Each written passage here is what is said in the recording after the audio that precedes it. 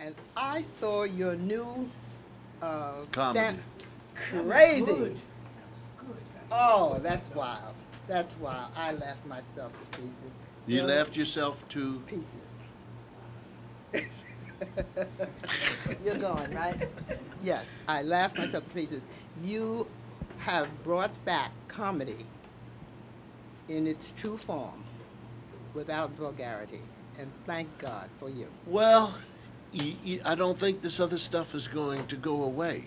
No, I know. Because as long as you have uh, certain TV programs and they entice the young or the new to do that kind of thing, and audiences, audiences are there and laughing.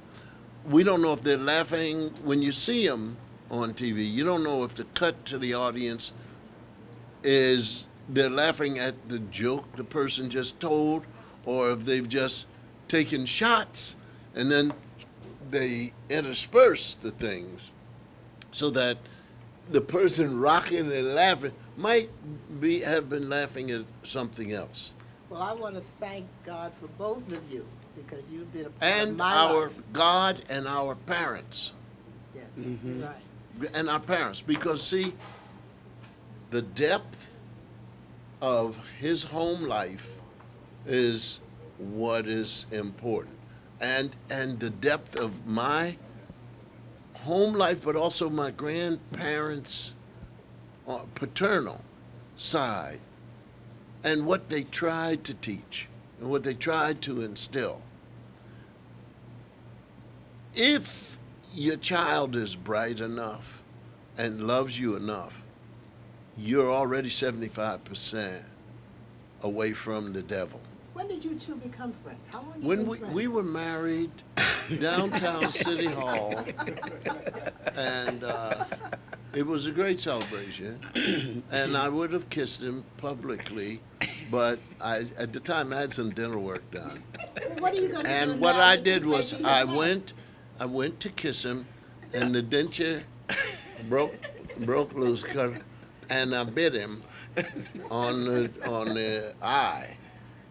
Your forehead. On the, f- I'm sorry, I lost my nerve What are we going to do when he stops giving these festivals? We're going to have a day off.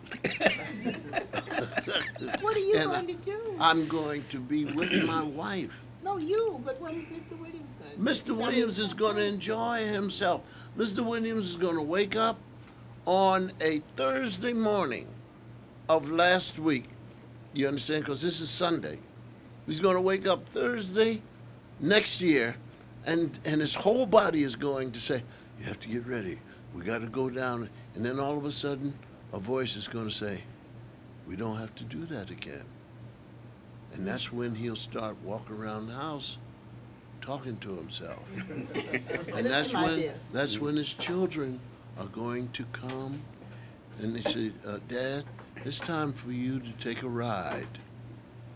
And to go down to Byberry and have an exam. What are you going to do now? We, we, we need you. Well, let me put it this way. We're going to continue the music, but uh, my feeling about a scholarship jazz festival is that people should be willing to give without getting paid. Because it's something that we wanted to do. We're not encouraging anybody to do what, you know, whatever you feel. But there's a need. We were all teachers, and we were in a situation where it was needed. So other people are coming in for money only. And they're very good, don't, I'm not taking that away. They're worthy of their position. But it's more cordial for us, you know, because we're around young people and we know what the needs are. And that's what we want to try to, that's the reason why we got with Mr. Cosby, and he has graciously always, accepted yeah. that role.